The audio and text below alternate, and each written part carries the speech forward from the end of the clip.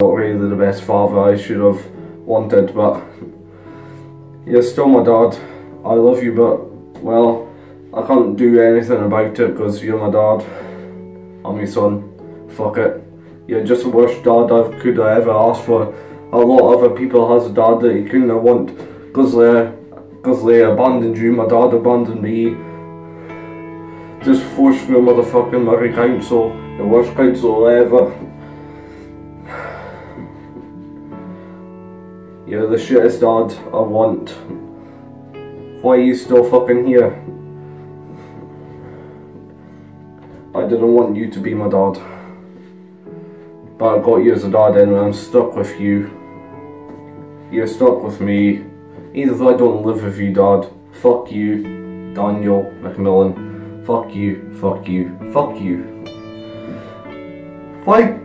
You don't even deserve being called a father because you weren't even there but you weren't even there since day one. You abandoned me when I was one years old. Why did you come back to my life when I was 16 years old? We spent every two years again having conversations, trying to make a father-son bond. But I could either wanted to make a father-son bond with you when you, your wife Cheryl fucking made a lot of shit to me. Then I ruined our motherfucking friendship together.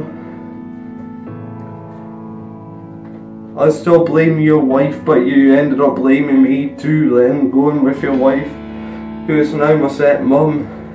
My stepmom is a bitch just like you, Dad. I still want to be in contact with you, Dad, but I still can't be asked being Especially having a wife just like Cheryl. I don't even want to be here, but still. You're the worst dad. I could have asked for. I just wanted a dad that could be there for me through the worst times, through the best times, and that's why I started YouTube because I had nothing else to do to keep me happy. You stopped the CSA support money coming in because you can't be asked fucking paying my bills.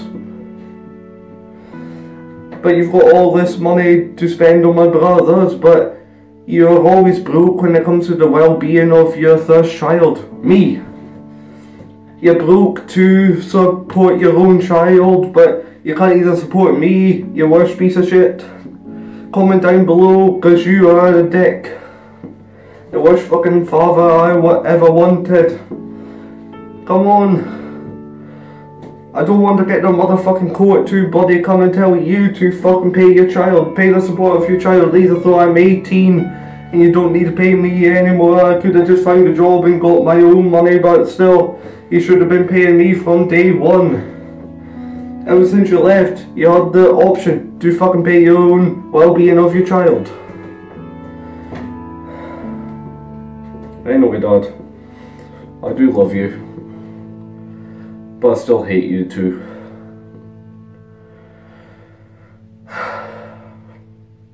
I love you, Dad. Still, no one could ever replace you, though. There's good times, there was bad times between us two, but